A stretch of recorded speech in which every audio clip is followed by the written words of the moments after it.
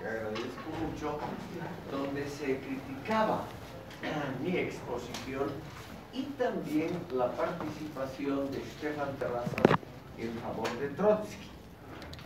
Estimado público, lo que quiero yo mencionar positivamente es que todas estas críticas y también la posición de Stefan Terrazas demuestran una nostalgia intelectual que honra a estas intervenciones, porque se nota que todos ellos se preguntan en el fondo si hay todavía un marxismo crítico, un socialismo con rostro humano, como se llamó el experimento en Checoslovaquia en 1968, si hay todavía una utopía que podría ser rescatada y aprovechada para un futuro mejor de la humanidad.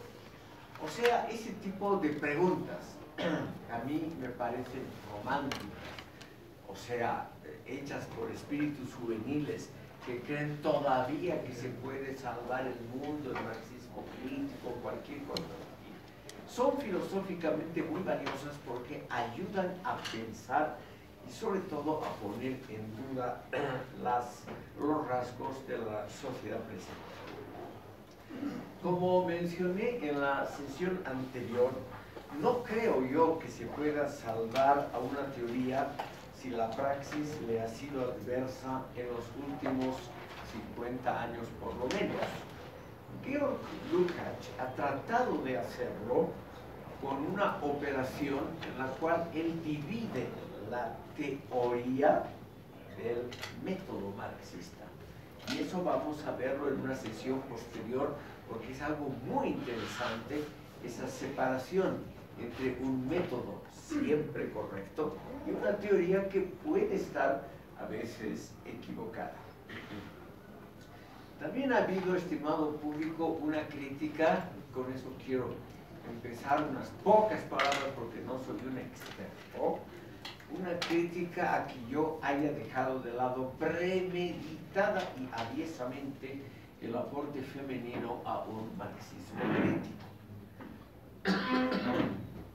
Y aquí se puede afirmar que esta contribución es muy importante, yo agradezco mucho por esa llamada telefónica, porque evidentemente en los campos de la teoría de la emancipación femenina y la sociología del trabajo, educación, de la familia y la salud, ha habido aportes eh, femeninos extraordinariamente importantes dentro de todos los tipos de marxismo.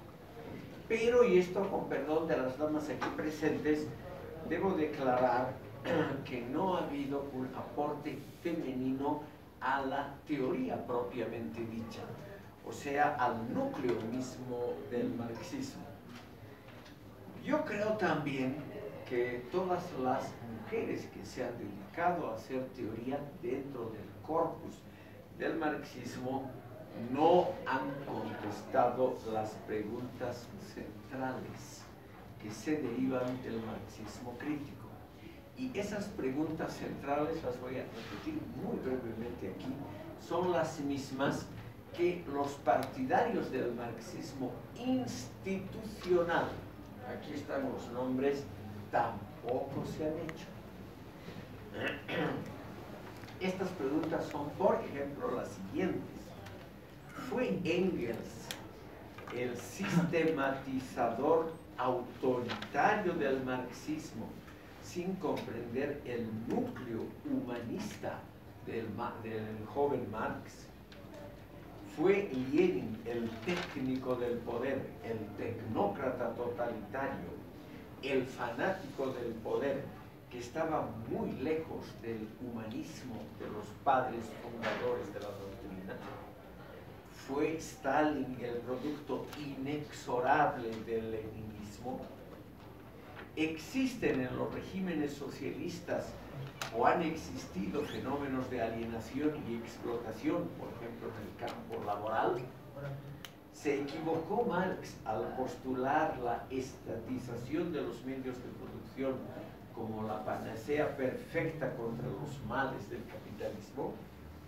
Son obviamente preguntas complejas, sin duda alguna, Y son exactamente estas preguntas las que se ha puesto la Escuela de Frankfurt y se de la originalidad de la misma se deriva precisamente de esa facultad filosófica de hacerse preguntas que van mucho más allá de los casos simples, con perdón de los posibles partidarios de René Zabaleta Mercado, del gran cubano actual, que es el máximo teórico del marxismo, Pablo Guadarrama y todos los otros, yo diría que ellos están enfocados en problemas prácticos de aplicabilidad de una doctrina a mundos cambiantes, a sociedades que naturalmente se van modificando. Pero yo creo que ellos, incluyendo a Trotsky, nunca se hicieron la pregunta si el núcleo de la teoría podía resistir los avatares de la historia, o sea, los cambios de la historia. Porque yo, al contrario de Lukács, no creo que una teoría salga incólume si realmente la historia práctica ha sido adversa a esa teoría durante más de 70 años. Entonces uno se pregunta, ¿para qué salvar esa teoría? ¿No es acaso un gesto romántico el tratar de salvar una teoría que no nos puede responder adecuadamente los problemas de la cotidianidad del siglo XXI. Yo supongo, estimado público, que en el marxismo crítico femenino podemos excluir algunos aportes porque no han sido realmente importantes. Alexandra Kollontai fue una diplomática soviética, una mujer muy exitosa en el manejo del poder, pero yo no creo que ella haya expuesto una teoría del feminismo, por ejemplo, la de Simone de Beauvoir o cualquier cosa similar que esté a la altura de los requerimientos del feminismo actual. Yo creo que también podemos excluir, yo digo, arrogantemente de un plumazo a Hilde Benjamin, porque esta alemana, curiosamente hermana de Walter Benjamin, se distinguió como ministra de Justicia de la República Democrática Alemana en los primeros años de la existencia de este país y es la autora de la mayoría de los códigos civiles, penales de la República Democrática Alemana y es de muy triste memoria porque ella también fue fiscal general de ese país y la encargada, sobre todo en los años de Stalin y los primeros de Khrushchev, encargada de perseguir a los intelectuales progresistas y en eso ella ha adquirido una muy triste memoria. Entonces, de, estos, de estas notables mujeres que han aportado algo al marxismo crítico, nos queda solo Rosa Luxemburg. Y ahí sí, a pesar de aburrir un poquito a ustedes, quisiera mencionar dos breves palabras sobre esta pensadora que vivió entre 1871 y fue asesinada en 1919.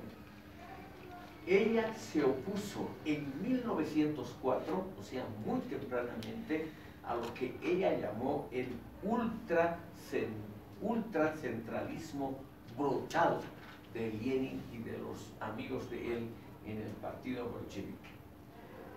La concepción de Lenin, dijo Luxemburg, sería elitista y burocrática, militarizada y en el fondo antidemocrática. Ella afirmó también y acuñó un famoso slogan, la libertad es siempre la libertad del que piensa distinto a uno. O sea, aquí podríamos decir que estamos frente a una pensadora mucho más amplia, a una pensadora más liberal que Lenin, Trotsky y compañía, y a una pensadora que por eso hoy en día todavía es altamente respetada. En la Alemania federal de hoy, un país capitalista, hay un partido de izquierda cuya fundación política se llama la Fundación Rosa Luxemburg, que también es activa aquí en Bolivia, apoyando lamentablemente al partido de gobierno. Pero esto significa, estimado público, que el nombre de ella todavía está vivo en el recuerdo de mucha gente y de mucha juventud que se dedica a cuestiones teóricas. Pero también la otra palabra que quiero decir sobre Luxemburgo es la siguiente. Ella sostuvo como verdades indubitables los pronósticos de Marx. Por ejemplo, la pauperización creciente de la clase proletaria dentro del sistema capitalista. Y ella sostuvo también, tiene un libro sobre ello, la polarización de clases que, como ustedes saben, no ha tenido lugar en el mundo real. En el mundo real lo que ha habido es más bien esa gigantesca expansión en Europa de las clases medias y en realidad la desaparición del proletariado clásico de fábrica. En Europa hay muy poca gente que se ensucia las manos con trabajo proletario. Esa labor se, se la hace hoy en los mercados de bajo costo como China, Vietnam, la India, etc. Rosa Luxemburg, pese a esa cita que he mostrado a ustedes, donde muestra ser muy liberal, ella estuvo totalmente en contra del sistema parlamentario de gobierno. A, ese sistema lo llamó un cretinismo profesional. Estuvo también en contra de los derechos humanos, los calificó de fábula de la burguesía francesa. Ella rechazó el federalismo como modelo para construir un país.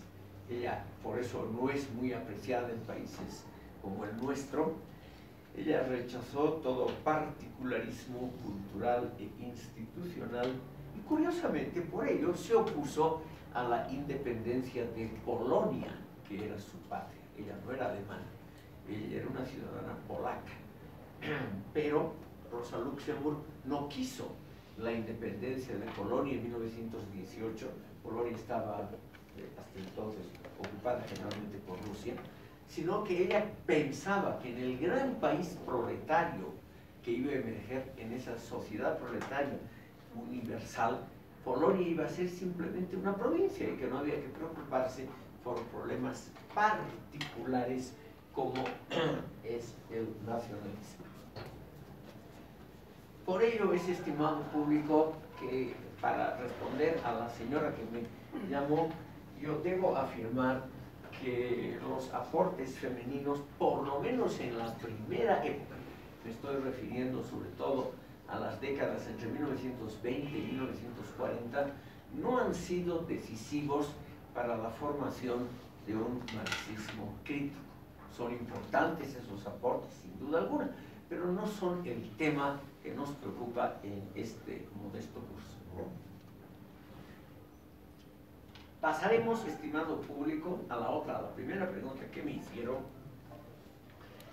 al aporte de los grupos disidentes dentro del propio Partido Comunista. El Partido Comunista ruso, al inicio de la revolución, tenía unos 5.000 miembros en toda la Santa Rusia, un año después tenía arriba de 100.000 y dos años después eran 2 o 3 millones de miembros. O sea, un crecimiento enorme y eso significa una multitud también de fracciones, de intereses, a veces encontrados dentro de la propia institución del Partido Comunista. Aquí, estimado público, simplemente por un recordatorio nostálgico, les he puesto los nombres de las tres fracciones principales en los primeros años del Partido Comunista Ruso está la izquierda, por eso también lo he puesto a la izquierda, Trotsky, está la fracción del centro comandada por Zinoviev y Kameniev, Zinoviev fue el primer presidente de la Tercera Internacional y el hombre que estuvo más cercano personalmente a Lenin, y está la fracción de la derecha comandada por el teórico más importante del partido que era Nikolai Bukharin.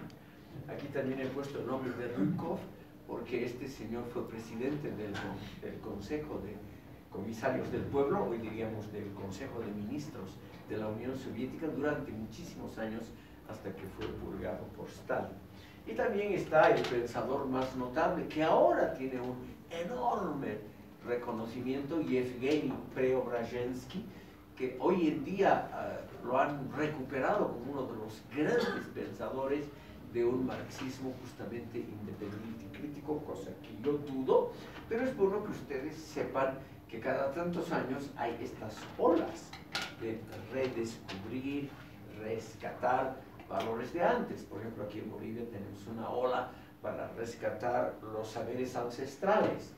Con palabras muy similares, en la Santa Rusia de hoy, el Partido Comunista, que se ha convertido en un partido minoritario, tiene solamente el 7% de los diputados de la Duma, el Parlamento Estatal ruso, este partido se ha dado a la tarea muy normal, ¿no? después de la sangre que el propio partido virtió durante décadas, se ha dedicado a sacar del olvido a los grandes pensadores del propio partido. Bukharin y Preobrazhensky son ahora las estrellas en el firmamento de ese nuevo marxismo crítico de cuño ruso. Estos señores, estimado público, no creo yo, ninguno de ellos, empezando por Liev Davidovich Trotsky, no creo que puedan ser considerados como representantes de una visión crítica de problemas sociales y del propio marxismo, porque todos ellos creían firmemente en una cosa, el partido siempre tiene razón. Es una frase de Trotsky. Él dijo también, el partido es, la, es el único instrumento que la historia ha brindado al proletariado para conquistar el poder y para que se haga autoconsciente de su propio valor. Como ven ustedes, Trotsky quería, en el fondo, ser él el jefe del partido, porque si el partido siempre tiene razón, uno en el fondo no puede estar en contra de ese partido. Ese, ese punto, estimado público, es el más interesante literaria y psicológicamente. Todos estos señores, sobre todo aquí en la fracción de la derecha, Bukharin y compañía, fueron fusilados en 1938 en la última purga de Stalin y ellos dijeron, todos, todos, sin excepción, murieron con la conciencia de que le estaban haciendo un favor al partido. Porque como no se puede estar en contra de un partido que encarna la verdad histórica, el sacrificarse, el sacrificar la propia vida, era el mayor homenaje, la mayor colaboración que ellos podían prestar a ese partido emergente, pese, claro, a esas cosas un poquito turbias, como el culto a la personalidad, pero todos ellos creyeron que el partido, como dijo Trotsky, siempre tiene razón en su conjunto. Todos ellos, sobre todo, eran partidarios de tres elementos.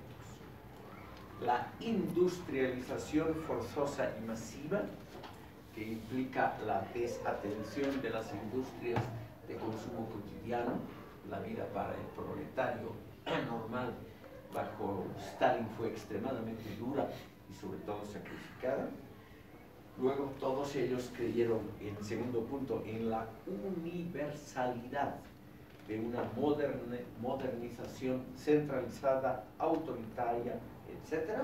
Y como tercer punto, todos ellos, ninguno quiso el pluralismo político, todos ellos estaban contra el pluralismo de partidos y opiniones, con la idea de que podrían a veces, por ejemplo, haber elecciones libres con partidos independientes que compitan por el favor del electorado.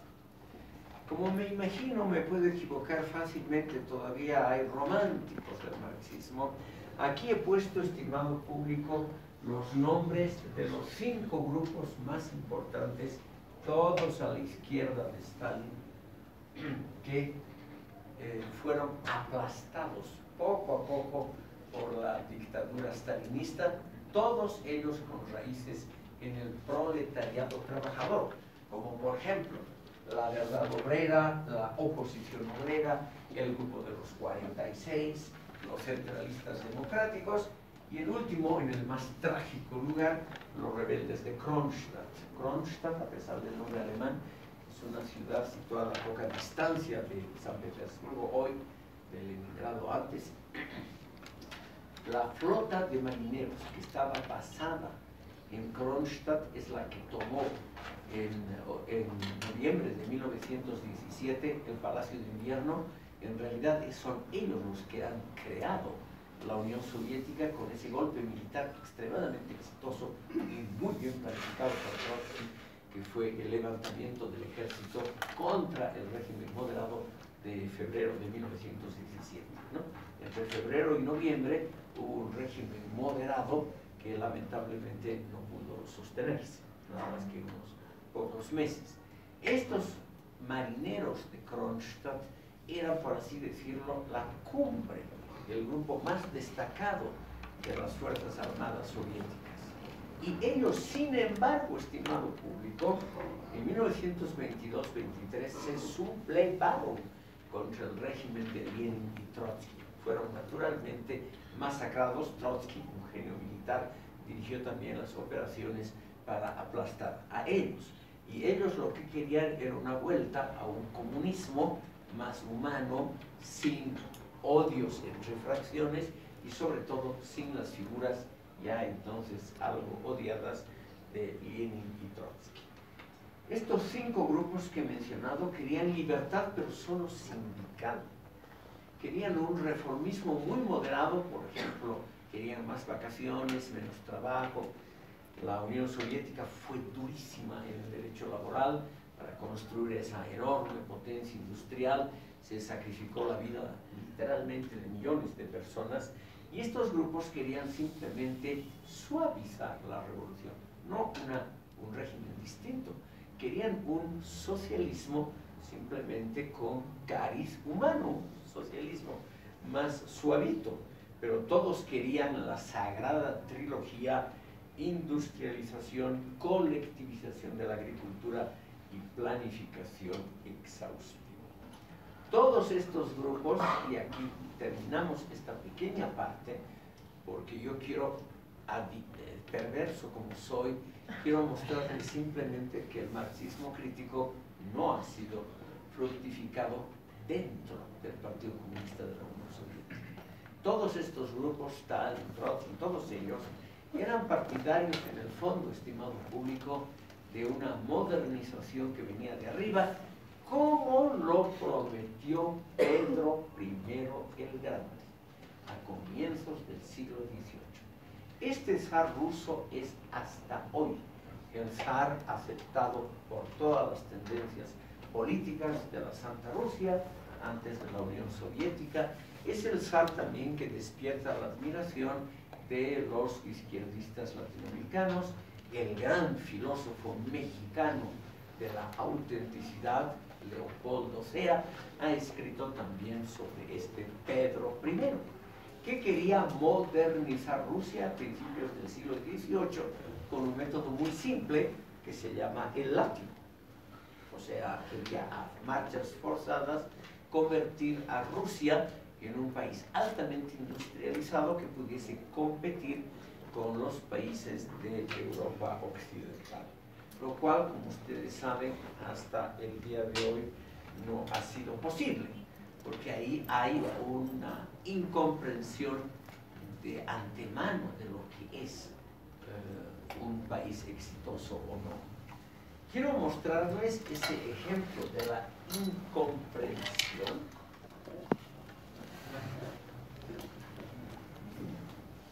mencionándoles justamente un poquito antes otro zar ruso que también tiene la total confianza de los izquierdistas actuales, Iván el Terrible, Iván IV el Terrible. Tal vez los interesados en arte han oído hablar de él, él aparece en una película de Sergei Eisenstein, en la más famosa de las películas de Eisenstein, que lleva ese nombre y que es con toda seguridad la película, una de las cinco mejores que ha creado el ser humano en la historia del cine. Este zar, Iván el Terrible, mandó, estimado público, la primera embajada permanente de Inglaterra, todavía no había la Gran Bretaña, a la corte de Isabel I, donde, como ustedes saben, Shakespeare era uno de los poetas favoritos. Y la incomprensión de lo que es realmente progreso, etc., se deriva del informe que los primeros embajadores rusos enviaron al zar Iván el Terrible porque Iván notó que los comerciantes rusos y la flota, perdón, que los comerciantes ingleses y la flota inglesa era muy exitosa. Entonces tenía miedo, obviamente, de que el comercio ruso quede de alguna manera en manos de ingleses. El informe de esta comisión al zar dice lo siguiente, y ahí ven ustedes la incomprensión de parte del mundo oriental de lo que es el occidente. Por eso enfatizo para provocar a ustedes, menciono este informe. El informe decía, su majestad no tiene nada que temer.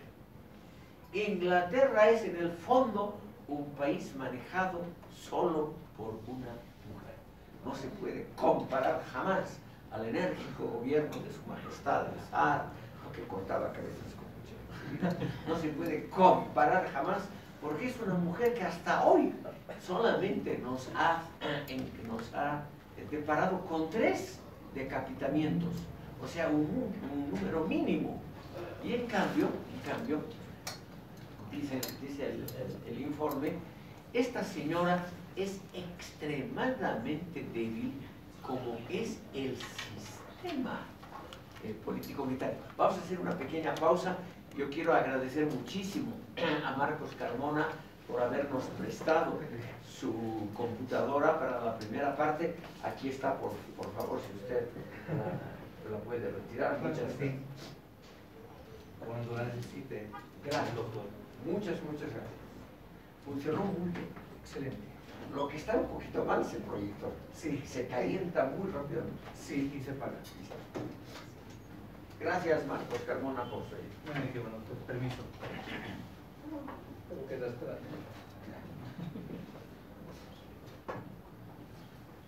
El informe decía, entre otras partes, este gobierno británico es débil porque la reina tiene que consultar cada una de sus decisiones con un órgano de habladores inútiles llamado parlamento.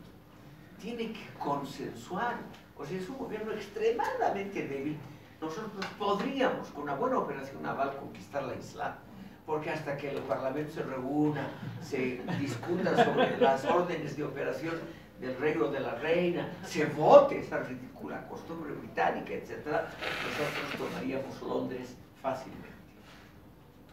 Yo les muestro esto, estimado público, porque simplemente esa visión elemental que yo arrogantemente califico de oriental, simplemente porque Rusia está al oriente de Inglaterra, esa visión no ha comprendido que la modernización se da justamente en un ámbito donde hay un cierto pluralismo, donde por ejemplo se permite actuar en forma más o menos libre a los investigadores, a los inventores. Es la gran época eh, británica donde comienzan los inventos. Y esos inventos empezando por la máquina de vapor o cualquier cosa así, no han sido ordenados de arriba, como han hecho los rusos cuando han construido eh, ferrocarriles o cuando han inventado el Sputnik, el primer eh, satélite, que se quedó ahí después de un éxito muy pequeño. El primero brillante fue la primera nave que el ser humano lanzó fuera de la atmósfera, pero ya no hicieron ninguno, ellos no han llegado a la luna, etcétera, etcétera.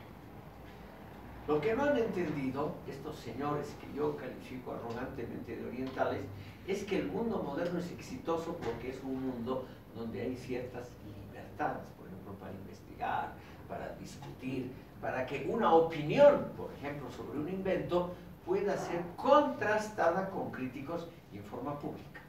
Entonces, esta incomprensión, estimado público, que es un factor evidentemente de psicología social tiene que ver con lo que ha diferenciado el desarrollo de Europa Occidental del desarrollo del resto del mundo.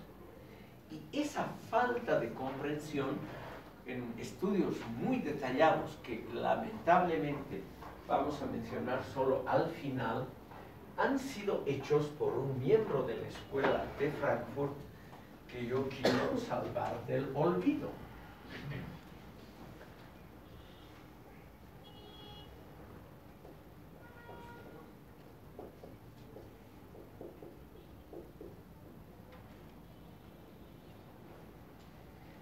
Este señor era sinólogo, o sea, especialista en asuntos chinos. Y es el único miembro de la Escuela de Frankfurt que se ha preocupado por problemas de América Latina. En su obra La sociedad hidráulica, es el que ha inventado ese término de sociedad hidráulica, él ha estudiado por qué hay una similitud entre los regímenes de la China, del Imperio Incaico y del Imperio Otomano. ¿Por qué estos tres grupos aparentemente tan distintos entre sí han creado una burocracia similar y unos hábitos en toda la población, hábitos pro-burocráticos, centralistas, autoritarios, que son muy similares? Y él cree que se debe a que estos países, los tres nombrados, necesitan grandes sistemas para canalizar y distribuir agua. Y que eso solamente se puede hacer con una burocracia permanente que sobreviva a los diferentes gobiernos o golpes de Estado o lo que sea. Una burocracia que por lo menos en espíritu no modifique sus procedimientos y sus políticas de largo plazo. Y él cree que el imperio incaico, como el imperio chino y el otomano, han sido esas muestras de un inmovilismo espiritual científico, porque muy tempranamente descubrieron un sistema exitoso y ya no lo quisieron cambiar. Les costó tanto trabajo, es comprensible, el sistema de canales y exclusas en Mesopotamia o en la China. Son cosas tan complejas que han debido costar tantos, tantas pruebas y tantos sacrificios que una vez que entró a funcionar, la sociedad se volvió conservadora en el sentido de preservar el éxito que habían tenido. Pero al preservar esto, preservaron también la mentalidad burocrática centralizadora. Entonces, esta es una idea, estimado público, que ha tenido mucho éxito. Posterior, tal vez han oído hablar ustedes del más grande historiador que dado la Gran Bretaña, Arnold Toynbee, que ha venido a estudiar aquí a Bolivia. Los esposos Mesa y han escrito sobre esa famosa visita. Él ha venido largamente a Bolivia para investigar cómo funciona el sistema de regadío y él se encontró con una notable desilusión que los bolivianos ya no cultivan siguiendo curvas de nivel como se cultivaba en el imperio incaico. Pero lo que ha quedado, según Toynbee, y es la misma teoría de Wittfogel con respecto a la China, es que la sociedad boliviana actual es inmóvil, es, perdón, no es movediza, o sea, no es una sociedad que aprecie cambios, es una sociedad profundamente conservadora en el sentido de que mantiene y preserva cosas que han tenido éxito, que han servido, pero como ha costado tanto ese éxito, no han querido poner en duda otras posibilidades de desarrollo. Entonces, ese inmovilismo, ese conservadurismo de las sociedades hidráulicas es lo que ha sido estudiado, es el gran mérito de la Escuela de Frankfurt, el haber estudiado muy tempranamente esas posibilidades. Historiadores posteriores, yo les aconsejo, aunque sé que no va a gustar, pero vamos a poner otro color, a un mexicano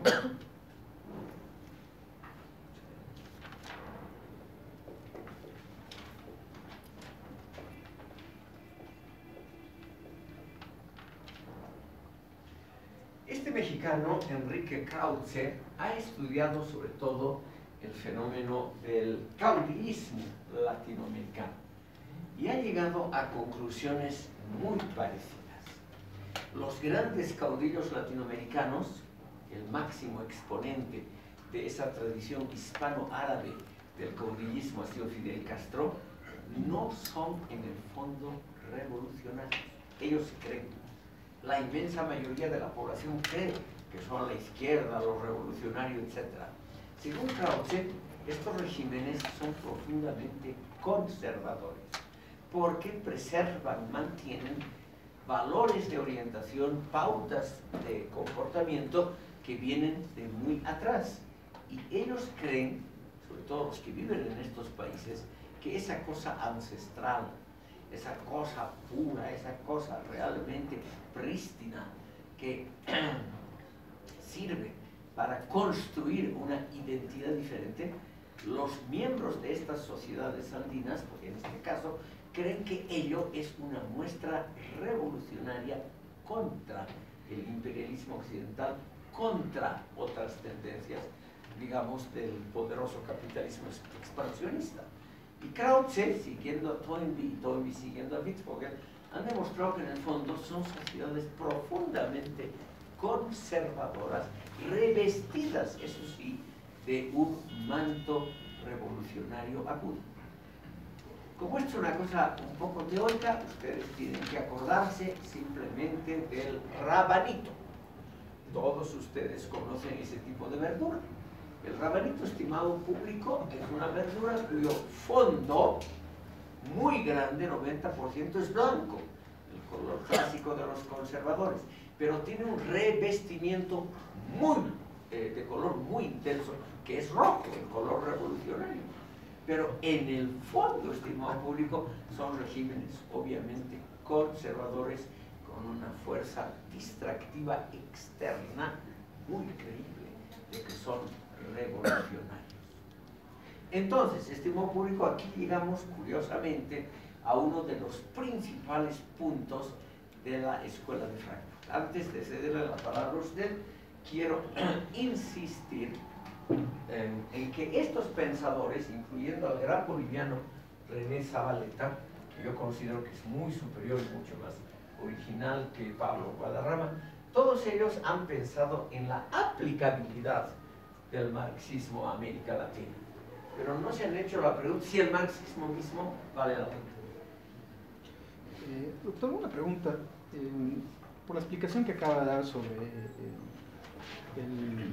el, autor alemán que menciona sobre el estudio de la sociedad hidráulica, que sería la pauta para que usted ha escrito bastante sobre el tema, y que en el fondo eh, el imperio incaico, bueno, todo nuestro presente precolonial, tendería a ser eh, conservador en el sentido de mantener pautas normativas, estructuras sociales, porque en el fondo es algo que le ha dado éxito. Sin embargo, el tolerancia que usted hace en, varios de sus trabajos, por ejemplo, el estudio que tiene sobre la policía, también eh, el tema es el, ensayo del carácter conservador, usted más bien eh, tiende a mostrar de que eh, gran parte digamos, de la nación boliviana ¿no? mantiene digamos, ciertas pautas conservadoras, como por ejemplo el tema de la corrupción, la burocracia endémica, el poder judicial anacrónico. Sí. Todos estos temas, sin embargo, no han dado ningún tipo de éxito. Yo creo que más bien si uno, si uno le pregunta a un ciudadano común y corriente, qué tan eficiente o qué tan eh, honesta es la, policía o qué tan eficiente es la administración pública o qué tan transparente y, justa puede ser la administración de justicia, son definitivamente una catástrofe nacional. ¿Cuál sería la razón desde su punto de vista? Porque no, no encuentro la lógica para seguir manteniendo estas pautas de, de, comportamiento, como se lo señala, como se lo nombra, pautas normativas de conducta que no están evidentemente una cosa es lo que dice la letra muerta de la ley, lo que dicen los reglamentos y las estructuras, y otra cosa muy diferente es la práctica, hablando un poco tal vez en términos de Borio, las prácticas que, que, se generan en todos estos ámbitos, ¿no? que es, como usted muchas veces lo menciona y también se lo critica por eso, que dicen que es el baluarte de la Bolivia profunda. Es que el éxito que Wittfogel, Krause y estos pensadores señalan, Toynbee, estos tiene que ver con el pasado, no con el presente. Usted imagínese cómo ha sido probablemente hace 20.000 años eh, la primera construcción de centros urbanos y de imperios más o menos estables en las eh, mesetas andinas. Ha debido ser algo extraordinariamente porque no son territorios con un régimen eh, de lluvias, un régimen fluvial muy adecuado, son territorios bastante complicaditos. Entonces, el éxito se refiere a que ellos, por ejemplo, domesticaron las papas, la deshidrataron exitosamente, tuvieron una enorme habilidad en la preparación de alimentos y supieron unir partes muy distantes de un territorio enorme, pero se quedaron ahí. O sea, el gran, gran éxito del imperio incaico según Toynbee, por ejemplo, que ha estudiado esto detalladamente, ese gran éxito puede ser visto hasta 1400. Ahí termina. Como toda sociedad que no tiene contactos intensos con el exterior y el imperio incaico no tenía con casi nadie, entonces esta sociedad no recibió desafíos, retos para pensarse críticamente a sí misma.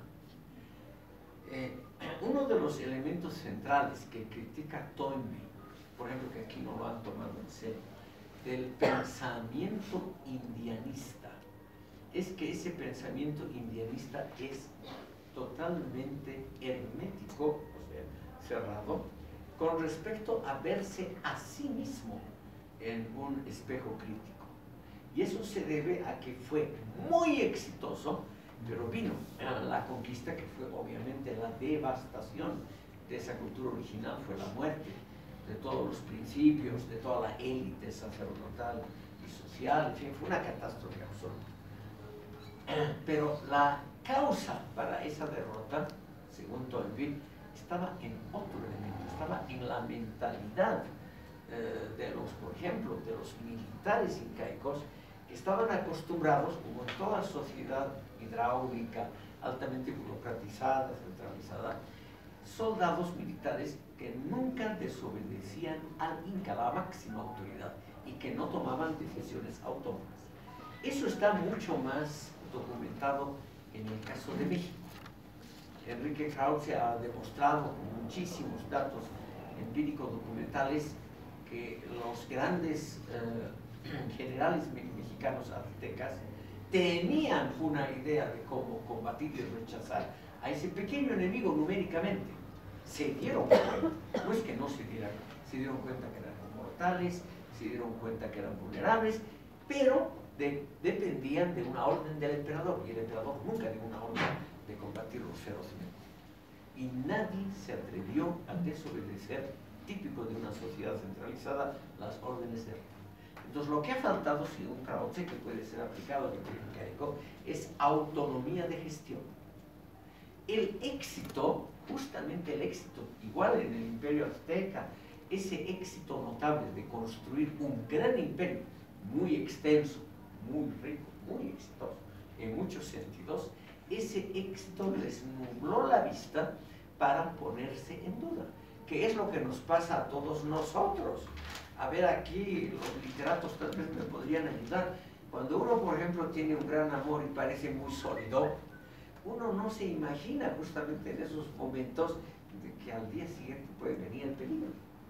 Uno no se imagina que al día siguiente puede estallar una pequeña burbuja que rápidamente, en pocas semanas, lleve a la catástrofe. Entonces el éxito obnubila también. Eh, el éxito a muy largo plazo no es positivo. Lo positivo es contar con fracasos, es ponerse en duda. Entonces eso es lo que yo he tratado de explicar, que esta sociedad es conservadora en el sentido de preservar pautas que vienen de muy atrás, pero como nunca tuvieron, nunca, la pauta de ponerse en duda, nunca tuvieron un Sócrates, o sea, un tipo que pregunta, que no tiene soluciones, pero que problematiza, etc. Nunca tuvieron socialmente esa función de la autoproblematización cuando estuvieron enfrentados literalmente de un día al otro a un mundo extraño, simplemente no no supieron actuar. Mi teoría es en el fondo muy simple, dice que el éxito no es siempre positivo. Tal vez alguna otra impugnación. Aquí el señor Estefan Terrazas, como lo hemos mencionado usted, eh, podría defenderse. Sí, recién. Eh, y bueno, yo estoy muy de acuerdo en, su visión del marxismo crítico, ¿no? Y que tanto la posición de izquierda, Trotsky, los mencionados del centro, Bukharin, etcétera, no han podido superar ese, marxismo ortodoxo, ortodoxo de su tiempo. Sin embargo, creo que sí hay un valor, nos alejamos un poco de el pensamiento textualista político y vamos a, los hechos históricos de la Revolución Rusa de 1917. Creo que también es importante recordar que en esa época eh, la, era, Rusia era un país muy atrasado, empobrecido, el 80% del analfabeto, solamente una pequeña aristocracia contaba con, con educación y la gente ya estaba harta, harta ¿no? de todos los abusos del zar, además de todo eso que en esa época no se discutía, incluso los economistas liberales, de que había un imperialismo económico. Esto, digamos, explicados en términos marxistas, porque la tasa de ganancia había disminuido, entonces había sobreproducción y tenían que sacar afuera toda esa sobreproducción, ahí llegan los monopolios. Empiezan a llevar, no sé, camisas a, a Rusia, por ejemplo, pero ¿para qué se necesitan camisas en un país atrasado que no todavía no alcanzó esos estados de economía más avanzado? Entonces, todos esos factores también han contribuido a que las masas reclamen justicia. Y también creo que es menester eh, señalar que en julio de 1917, en una revuelta que ha habido, eh, como decían las propias masas, a los bolcheviques, tomen el poder, hijos de puta, que se los estamos dando. Entonces creo que también había una tremenda desconfianza en establecer un régimen democrático porque era la burguesía. Entonces el partido bolchevique era la opción más racional para eh, que tome las riendas del desarrollo ruso. Lo que yo creo que han simbolizado Trotsky, eh, Bukharin, ha sido el terminador soviético.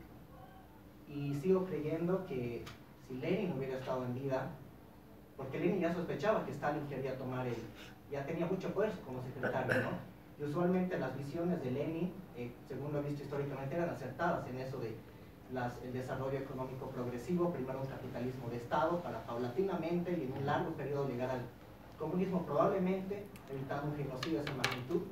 No se sabe, es especulación pura, pero yo creo que en definitiva la historia habría podido tomar un curso diferente. En la actualidad también creo que es importante el valor de 1917 porque ha sido la reacción de las masas ante la explotación de una aristocracia, de la monarquía y también del capital extranjero.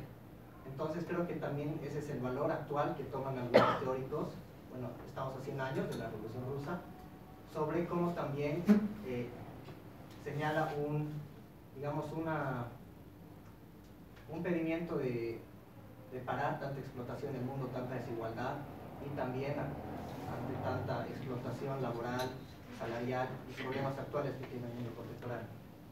Eh, tiene usted totalmente razón. El régimen ruso era probablemente el más atrasado en Europa. Eh, era el único país donde había la servidumbre de la gleba, eh, donde había unas diferencias entre clases sociales abismales y también donde el pueblo ruso, por su parte, explotaba a muchas otras nacionalidades que componían el imperio. No es casualidad, estimado público, que en 1991, el glorioso día de Navidad de ese año, ya fantástico, se, disuelve la Unión Soviética en 15 países soberanos.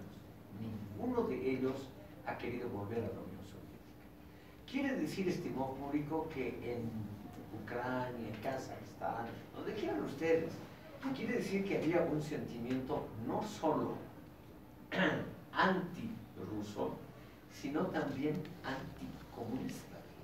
Porque todos estos países han establecido regímenes capitalistas, ni uno solo ha vuelto al socialismo. Es un caso muy, muy interesante para estudiar. Entonces, lo que ha pasado en 1917 es que evidentemente había muchas, muy pocas posibilidades de comparación y más todavía en un país, como usted mismo lo ha dicho, con un grado muy alto de analfabetismo. Pero aquí viene mi crítica. Esos son hechos incontrastables. O sea, la explotación excesiva, la división realmente radical en clases, todo lo que usted ha mencionado. Pero todo eso no necesariamente va a llevar a un régimen comunista como la solución perfecta. Finlandia se separó de Rusia justamente en esos días. Creo que hoy se cumplen 100 años de la creación de la República de Finlandia. Como ustedes tal vez saben, Finlandia, un país escandinavo, es un país extraordinariamente exitoso en el campo de educación. Seguramente ustedes, alguno tiene celulares Nokia o de, las muchas industrias. Eh, todavía los periódicos que se imprimen en papel aquí Todavía muchos de ellos importan papel de Finlandia, es el primer exportador de papel del mundo. Todavía tiene bosques, no los han arrasado, los han tratado racionalmente. O sea, un país muy exitoso. Mi, mi contra pregunta a usted, ¿no merecería la Santa Rusia en 1917 un destino como Finlandia? Porque en Finlandia también hubo guerra civil. O sea, el Partido Comunista Finlandés era extraordinariamente fuerte. Y como sus amigotes habían tomado el poder en San Petersburgo, ellos creían que a cuestión de pocos días el vencer a los nacionalistas. El ejército nacionalista totalmente improvisado derrotó en Finlandia totalmente al comunismo interno y a los intentos de invasión desde San Petersburgo. Mi pregunta usted, ¿no, ¿no hubiera sido razonable que Rusia tenga un régimen capitalista como se trataba de hacerlo a partir de la Revolución de Febrero de 1917, que fue malograda por estos apurados y atolondrados de los bolcheviques, no hubiera sido razonable que se intente, porque después de todo, a lo que se ha llegado después de 74 años es a lo mismo, solamente que es un capitalismo absolutamente mafioso. Son unos oligopolios manejados por los ex miembros del Partido Comunista. Entonces, mi pregunta es, ¿no hubiera sido mejor, porque nuestra labor es especulativa en filosofía, ¿no hubiera sido mejor darles a los rusos la oportunidad de un desarrollo que los comunistas dicen peyorativamente burgués capitalista, que yo simplemente un régimen democrático liberal, ¿no hubiera sido mejor para ese sufrido pueblo si hubieran ahorrado 20 millones de muertos, las guerras posteriores, la guerra civil, etcétera, etcétera. Eh, usted tiene razón en nombrar todos esos datos negativos, pero creo yo que todos esos datos negativos no nos llevan a la necesidad histórica ineludible de decir la única solución era Lenin y su grupo Como usted dice, en julio tal vez se creyó que tenían que tomar el poder porque era el único grupo más o menos organizado. Pero a largo, largo plazo, el tener un buen organizador como Lenin, de unas habilidades logísticas realmente sorprendentes, teóricamente muy mediocre, y un genio militar absoluto como fue Trotsky, el creador del ejército rojo. No hay duda, estimado público, que han sido hechos históricos que ya no los podemos eh, volver atrás, pero yo creo que no ha sido lo mejor para la Santa Rusia. Estimado público, si no hay más preguntas sobre el... Incluso, por ejemplo, se podría plantear una hipótesis en la cual, si no es que Lenin ha hecho una vendetta contra el zar, porque el régimen zarista mató a uno de sus hermanos mayores en la época de cuando hacían los terrorismos contra el zar. Y Nicolás I, si no estoy mal, los agarró a todos ellos después de que mataron a su padre y entre los que asesinaron colgándolos fue su hermano mayor de Lenin, por ejemplo. Entonces no se plantearía desde esa posibilidad que Lenin ha hecho ese esfuerzo por un trauma del hermano mayor, por ejemplo, podría ser una variable en ese caso. Y en el otro extremo sería si realmente valió la pena lo que usted dice, todo este esfuerzo de la revolución para que al final de cuentas no haya una revolución interna, como planteaban también Goethe y Schiller en la Revolución Francesa, que hubo una revolución de las masas que proclamaron muchas cosas, que llevaron las propuestas religiosas a las políticas, pero no había una revolución de la persona como individuo. Y en Rusia pasa lo mismo. Hubo una revolución de las masas, no una revolución de la persona como tal, y seguían con los mismos parámetros de comportamiento, a lo cual llevó a un fracaso total. Eina Rosso, lo que usted eh, plantea tiene sus eh, complicaciones que yo, que no soy experto en historia, no puedo contestar. Usted da a entender que tal vez la historia es diferente si los individuos hubiesen actuado de manera diferente. Eso es posible, pero como no ha sido así, es naturalmente pura especulación. Claro. Eh, evidentemente, el hermano Julián, o algo con U apellido estos chicos. ¿Cómo? Ulyanovsky. Ulyanovsky. Estos chicos pertenecían a la capa media, no eran proletarios. los hermanos. El mayor fue evidentemente fusilado o ahorcado, una. Pero yo no creo que Lenin hubiese tenido otras ideas uh, solamente por el asesinato de su hermano. Yo creo que él realmente era un pensador, mismo honesto consigo mismo. Yo creo que él hubiera de todas maneras hecho algo similar. Tal vez lo que él tenía es un odio terrible al zarismo, a las figuras representativas porque no había ninguna necesidad de liquidar a toda la familia imperial. Ya estaban fuera del gobierno, etcétera, etcétera, y a Lenin se le ocurrió que todos los miembros de la familia, de la familia imperial había que cortarles la cabeza, hasta líneas muy alejadas. Por ejemplo, al gran poeta juvenil, el príncipe Paley, que era un poeta realmente provisorio, experimental, lo detuvieron preso porque era primo en sexto grado del Sachao, fusilado en el acto. Claro, claro, claro. Eso bastaba como culpabilidad. Y eso tiene algo de irracional. En eso Rosso tiene razón. Eh, la historia, lamentablemente, está hecha también de efectos irracionales. Y no hay duda que la revolución de octubre en la Unión Soviética, que tuvo lugar en noviembre, no hay duda que esa revolución desató una marea de odios personales, deseos de venganza, y cosas similares que se habían sedimentado durante siglos. Por ejemplo, en 1917 la Santa Rusia no tenía constitución. Uno de los pocos países del mundo que no tenía constitución. El zar era absoluto. No había ninguna limitación al poder del zar. Y eso en un país moderno, hay que ceder a tiempo pero no sé, es una pregunta especulativa un poco complicada. Ahí la señora atrás. Eh, en el razonamiento que usted plantea, creo que también tendríamos que preguntarnos si hoy el mundo está bien, está mejor, especialmente Sudamérica, Bolivia, si está mucho mejor hoy con un régimen burgués capitalista democrático liberal. Si también digamos, nos vamos a quedar digamos, con el conformismo ¿no? de, de, este espectro teórico y de esta constitución y esta aplicabilidad o sea, actual en el país, porque yo veo que también existe una estratificación social que está determinada por elementos económicos. Hoy Bolivia, o, ni siquiera Bolivia, la ciudad de La Paz, no, no resuelve problemas tan elementales como, como la salud. Hoy se, se determina, digamos, de acuerdo a tu estrato socioeconómico, si vas a tener una atención mínima de salud o si vas a ser atendido en el hospital eh, de clínicas, por ejemplo, tal vez, digamos, en el suelo apenas cubierto por una frazada.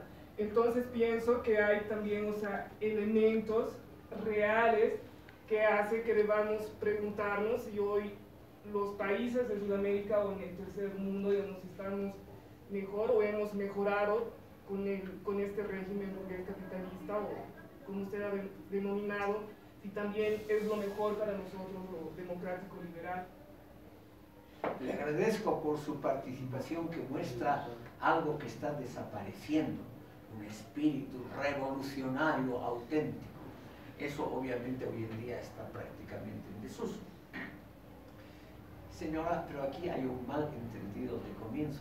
Yo nunca he dicho que este régimen pueda ser calificado como burgués capitalista. Esas denominaciones vienen de la tradición marxista a la cual yo nunca pertenecí y no pertenezco. Yo creo que esas denominaciones, burgués, capitalista, simplemente no sirven, porque son demasiado generales y son usadas siempre contra lo que no nos gusta, contra el enemigo, sin preguntarnos si realmente tiene algo que ver eh, por ejemplo, lo que hay ahora en Bolivia con burguesía, capitalismo, etcétera, etcétera, que es lo que yo dudo.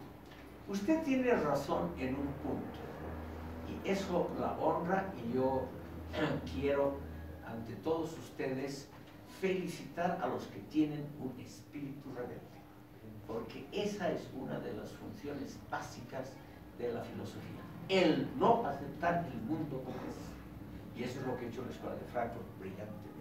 O sea, no aceptar el mundo simplemente porque sea exitoso. No aceptar el mundo porque parece que nos ha dado una solución más o menos aceptable. Vamos a ver lo que ha dicho Adorno a la mitad de este modesto curso sobre el sistema, entre comillas, capitalista alemán actual. Son palabras durísimas de Adorno sobre ese régimen y una explicación muy razonable, de la, una crítica muy razonable a la sociedad de masas, a esa sociedad de masas que ahora estamos viviendo también aquí con una enorme importancia de lo que es propaganda y una dilución de los valores espirituales. ¿No es cierto, Reina? Nosotros, usted y yo, gente que se interesa, por ejemplo, sobre el arte, aquí somos personas aisladas, nadie nos toma eh, muy en serio con esas aficiones, porque lo que vale es obviamente el dinero como el parámetro del éxito absoluto, así sea el régimen pro-indianista, que son cosas muy superficiales. Entonces, usted tiene razón en criticar al régimen, no hay duda alguna que no estamos en el mejor momento de América Latina. Pero yo creo, señora, que los pueblos deberían votar en libertad por la opción que tienen. Y fíjese usted que en libertad, si solamente miramos a las elecciones presidenciales y parlamentarias que ha habido este año en Perú y en otros países, las opciones de la extrema izquierda que serían las sucesoras de la Revolución de Octubre, han resultado ser absolutamente minoritarias. Hasta una cosa que parecía extremadamente sólida, como el populismo peronista en Argentina, aparentemente está reduciendo su caudal de votos, es decir, la atracción sobre las masas, sobre todo sobre las masas juveniles. Entonces yo de ninguna manera quiero aparecer como defensor de estos sistemas que usted peyorativamente los ha denominado como burguesía capitalista. Yo simplemente quiero que ustedes aprendan a criticar todo, todos los regímenes, todos los sistemas. Y para eso hay que empezar con alguno. Y aquí, como hemos visto los afiches de la Revolución Rusa, entonces hoy, excepcionalmente, 22 de agosto del 2017, nos dedicamos a pensar cómo podría haber sido algo mejor el desenlace de la necesaria reforma que había que hacer en Rusia. Porque evidentemente había países similares que en, 1918, a la terminación de la Segunda Guerra Mundial, no tomaron la decisión de la Santa Rusia. Quiero nombrarles solamente tres ejemplos porque en los tres hubo guerra civil los comunistas en los tres estuvieron a punto de tomar el poder, en Finlandia, en Hungría y en Austria, estimado público. Y en los tres países, por votación popular, se decidió mantener a regímenes liberal-democráticos, lo cual fue obviamente una decisión muy sabia. Por eso Finlandia está donde está. El régimen comunista que duró muy pocas semanas en la Hungría de 1919, el ministro de Educación, el comisario del pueblo para la cultura popular, Georg Lukács, se manchó para siempre las manos y su reputación haciendo fusilar inútilmente a gente.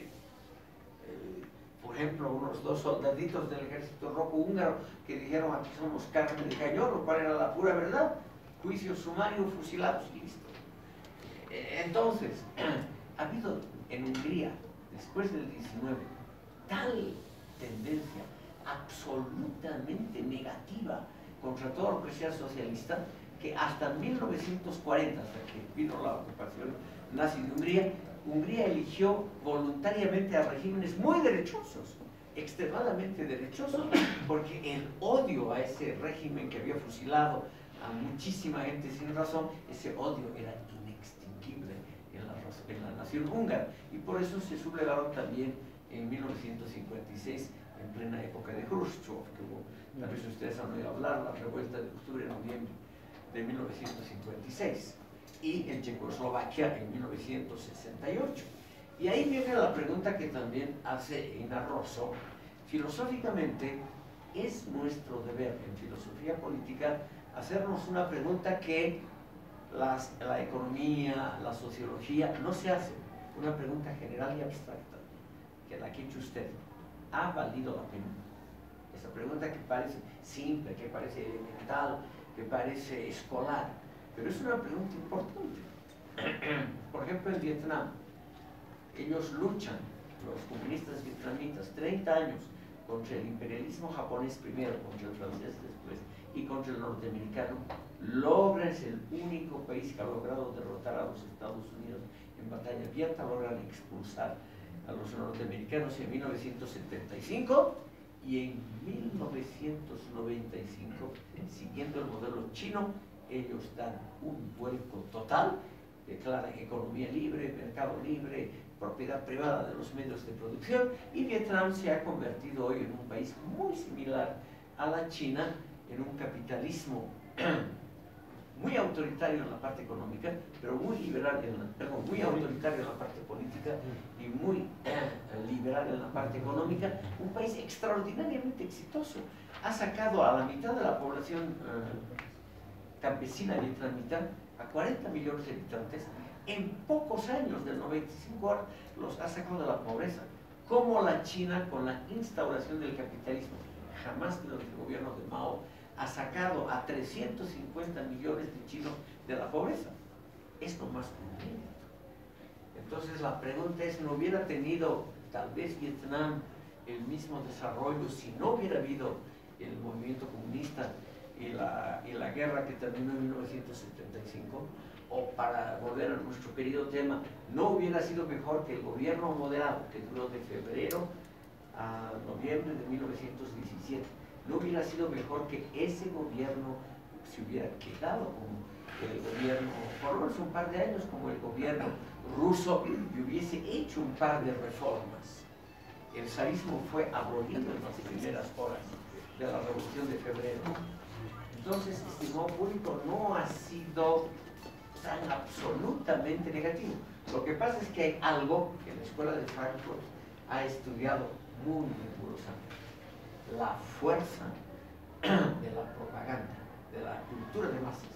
Y la cultura de masas, ustedes han visto ese despliegue de afiches y cosas similares, la cultura de masas hasta hoy ha oscurecido la imagen de lo que había antes de 1917 en Rusia. Por ejemplo, Stefan Terrazas menciona con toda razón que había analfabetismo, explotación, etc. Pero yo le pregunto, estimado Estefan, ¿era esa explotación diferente o menor a la que había en Turquía, en la China, en Corea, en Mongolia, etcétera? Es decir, que había discriminación, pobreza, explotaciones, claro, pero era tal en Rusia que realmente estaba justificada la revolución con toda su sangre ese tipo de preguntas que ningún historiador normal, ningún economista la va a hacer, es lamentablemente nuestro deber como filósofos, el hacernos ese tipo de preguntas. Por, por ejemplo, respecto a la Comuna de París, sí. que digamos, eh, por decisión propia, digamos, una vez que las élites, digamos, o las clases dominantes dentro de la, digamos, de, París en ese momento, habían eh, migrado que la gente ha autodeterminado, por ejemplo, colectivización y algunas de estas políticas que podrían determinarse como socialistas sin previa propaganda. ¿Cómo se puede explicar este, este, este fenómeno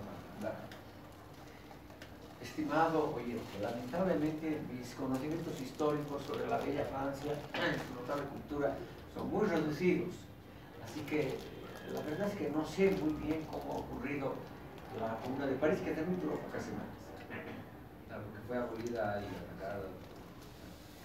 pero yo diría, yo diría que Francia, inmediatamente después de la derrota contra el Imperio Alemán y contra Prusia, y luego, porque ocurrió simultáneamente, fue durante la guerra con Alemania que tuvo lugar la Comuna de París. También eligieron una época extraordinariamente mala para sus anhelos estos revolucionarios, ¿no? Porque en medio de una guerra con un enemigo exterior, nadie va a prestar toda atención a alguien que en el fondo tomó una actitud de traición a la patria, que es sublevarse contra el ejército francés, siendo franceses los comunarios. ¿no? Es decir, creo que fue una actitud medio infantil de gente que estaba descontenta con el mundo. Pero díganme, ¿dónde ha habido igualdad de clases? ¿Dónde ha habido un paraíso terrenal que haya que defender? Y yo creo que los comunarios en París simplemente estaban imbuidos por un odio enorme contra las clases altas, pero un odio irracional. Porque después de todo a las clases bajas, al proletariado de fábrica en Francia, no le iba tan mal. Le iba muchísimo mejor que en toda Europa Oriental, muchísimo mejor que en China, India y que Rusia. Y que hagan una revolución, que no fueron inofensivos angelitos, que hagan una revolución total dentro de una guerra con un enemigo externo, a mí me parece un acto muy romántico, pero sin base Es decir, no creo yo que la Comuna de París, y ahí me opongo a las opiniones de Marx, Lenin, Trotsky todos ellos, yo creo que la Comuna de París fue simplemente una payasada sangrienta. Nada más. Un poco duro. Espero que haya sido plástico y claro. ¿Usted, Einar, quiere decir algo desde el punto de vista del arte? ¿No? Estimado público, volveremos entonces a la Escuela de Frankfurt, donde la hemos abandonado en la sesión anterior. Ustedes recordarán que hemos empezado con Eric Fromm. Los pocos minutos que nos quedan nos sirven justamente para concluir este pequeño capítulo sobre Eric Fromm. Por favor, Eric con H al final, no, no es Eric, es lo británico, lo inglés, y no es Eric, como es el nombre alemán.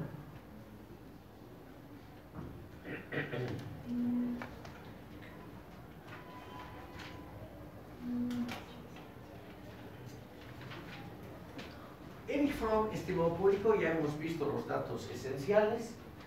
Eh, hizo un, él mismo fue psicoanalizado, o sea, perteneció al movimiento psicoanalítico antes que a cualquier movimiento teórico, marxista, socialista o afín.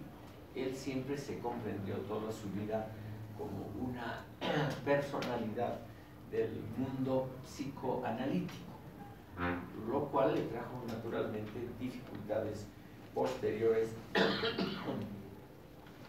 con los eh, miembros de la Escuela de Frankfurt. Pero aparte de ello, y aquí viene el mérito de Fromm en mi visión, que puede estar obviamente equivocada. Como alguna persona que ha leído tal vez alguno de mis artículos, ha notado que yo me dedico a analizar lo que se llama la religiosidad popular y el aporte para mí nefasto de la religiosidad popular a aceptar regímenes populistas y a caudillos autoritarios. Entonces, el gran mérito de Eric Fromm, aparte de unir psicoanálisis con teoría social, ha sido ver los aspectos políticos y culturales de la religión.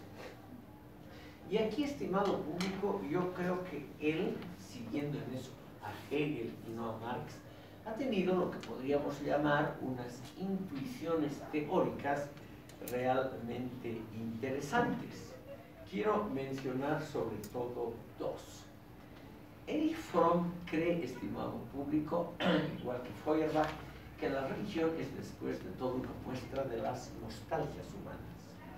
O sea que no es un fenómeno aparte del ser humano, no existiría Dios como tal, pero la figura del Dios es de alguna manera la representación de las más elevadas, de los anhelos más elevados del ser humano.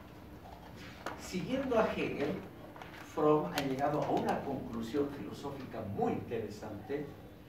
Dios es la figura, perdón, el ser humano, nosotros, somos la figura más elevada y tal vez única en el universo porque tenemos autoconciencia, somos la autoconciencia del universo.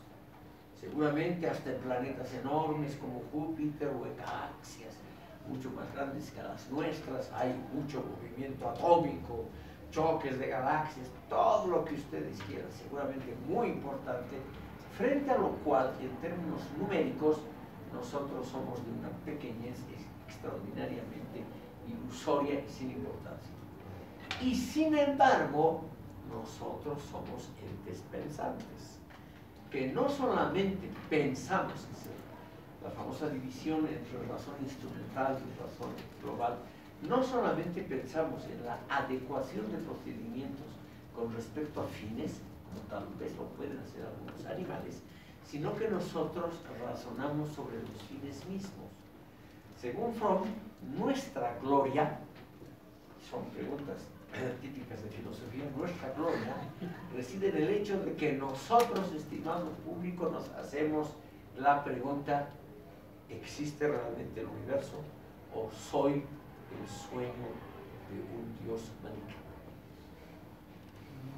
¿Existe el universo desde siempre o ha comenzado en algún momento y por lo tanto también va a terminar en algún momento? Y ahí automáticamente una pregunta filosófica, ¿qué había antes y qué habrá después? Esas cosas que parecen infantiles, estimado público, el sentido del universo, el sentido de la vida, la posición nuestra como entes pensantes, es según Fromm lo que nos asemeja a los dioses. La, siguiendo a Hegel, dijo él, la única diferencia, única diferencia entre Dios y nosotros es que Dios es eterno y nosotros morimos. Pero las capacidades cognitivas y racionales son exactamente iguales. O sea, pensamos en fines, nos hacemos preguntas sobre el sentido de nosotros mismos, pensamos a muy largo plazo, por ejemplo, nos preguntamos qué habrá cuando termine de existir la Tierra, o nos preguntamos qué ha habido antes del Big Bang. Según Fromm, estas son preguntas de la más alta calidad y que solamente se pueden hacer seres absolutamente racionales y una palabra que él ha inventado, autorracionales. O sea que somos conscientes de que somos racionales. A ustedes les parece curioso esto, pero no es tanto, estimado público. Un niño, por ejemplo, sabe relativamente bien resolver problemas de razón instrumental. ¿Qué es la razón, por ejemplo, por la cual el ser humano arma trampas para cazar animales? Entonces, el ser humano diseña procedimientos y mecanismos porque tiene claramente la meta que es alimentarse para eso necesita comer. Necesitamos comer, por ejemplo, a todos ustedes les gusta mucho el buen jamón. Para ello hay que sacrificar a los pobres cerditos. Para ello a ustedes también les gustan los mariscos, hay que pescar. Todas las cosas buenas de este mundo significan esfuerzo. El niño pequeño puede calcular esos problemas de razón instrumental o sea, puede adecuar una trampa para cazar un animal, fijar muy bien la pista, los parámetros, pesos, contrapesos, etc. Pero el niño nunca se hace la pregunta, ¿por qué es necesario armar trampas? ¿Por qué es necesario comerse al cerdito? Entonces, según Fromm, nosotros como adultos tenemos una facultad divina con eso les quiero alegrar la noche.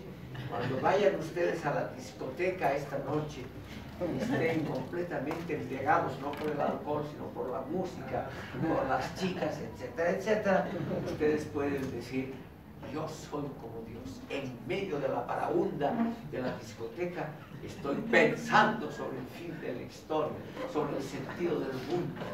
¿Para qué nos sirve la razón? ¿Para qué estudio filosofía? Todas esas preguntas, estimado público, pueden hacerla esta noche en una pequeña pausa del baile y en eso van a demostrar ustedes la esencia divina.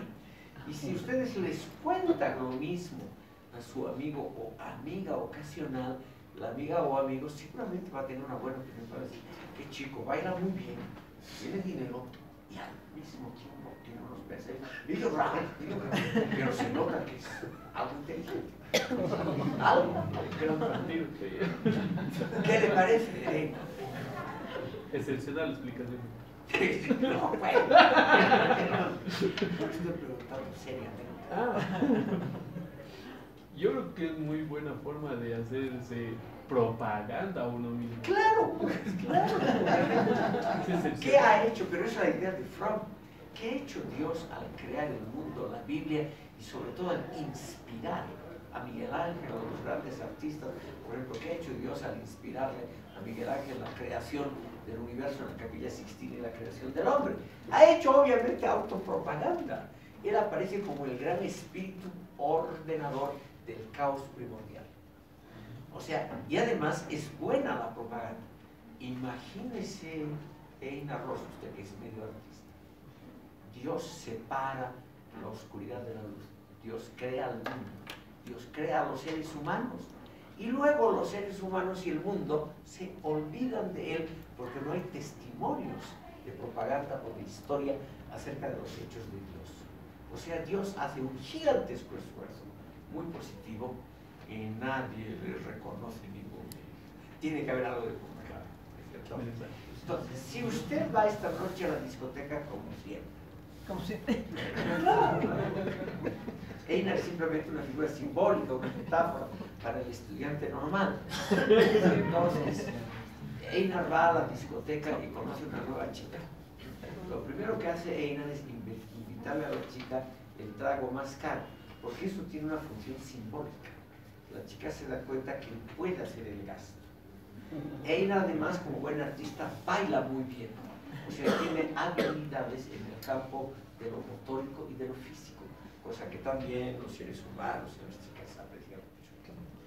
Y cuando, para dar el golpe final, El zarpazo final. el zarpazo final, usted le empieza a contar a la chica estas cosas que estamos discutiendo aquí, nosotros somos superiores a todos los seres del universo, sin excepción, porque pensamos a largo plazo en el sentido mismo del universo y en el sentido de cada relación humana. Puede ser que la chica, puede ser, diga, que te menos tú eres Pa- aburrido. Pero doctor, ahí hay que enganchar. También ¿Con qué enganchar? hacer lo último. Le podemos decir, nosotros los seres humanos somos gente divina porque estamos pensando esto. ¿No te das cuenta que nosotros estamos un poquito más elevados porque estamos haciendo la reflexión de este asunto mientras Claro. los demás están bailando? La chica va a decir, ah, pero Claro, indudablemente. va a ser una conquista exitosa. Estimado público, con eso quisiera cerrar. Eh, Fromm ha tenido la habilidad que no han tenido los otros miembros de las hay que mencionar, de reconocer la enorme importancia de la religión. Vamos a empezar la sesión siguiente mostrando la diferencia que hace Fromm entre dos tipos de religión. Porque él, para llegar a estas conclusiones, ha estudiado la mayoría de las religiones. Y él cree, estimado público, que hay religiones más intelectuales que otras. O sea, religiones que podríamos llamar intelectualistas. Y otras que son más emotivas.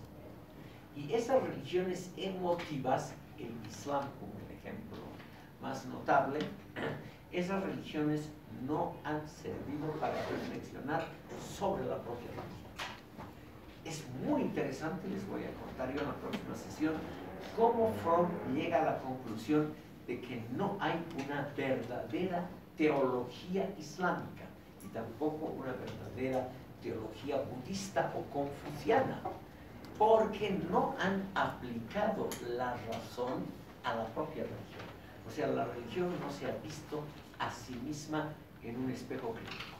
Entonces, estimado público, vamos a seguir con Fromm, que en los primeros años de la Escuela de Frankfurt ha sido el que más ha publicado, el más exitoso, hasta su separación de la escuela en 1938. Me van a disculpar ustedes, pero no voy a mencionar al Fromm autor de bestsellers, como El arte de amar, porque eso ya tiene poco que ver con filosofía en general y con la escuela de Frankfurt en particular. O sea, vamos a estudiar al gran Fromm filósofo, pero no al Fromm, digamos, dedicado a labores de divulgación. ¿Ya?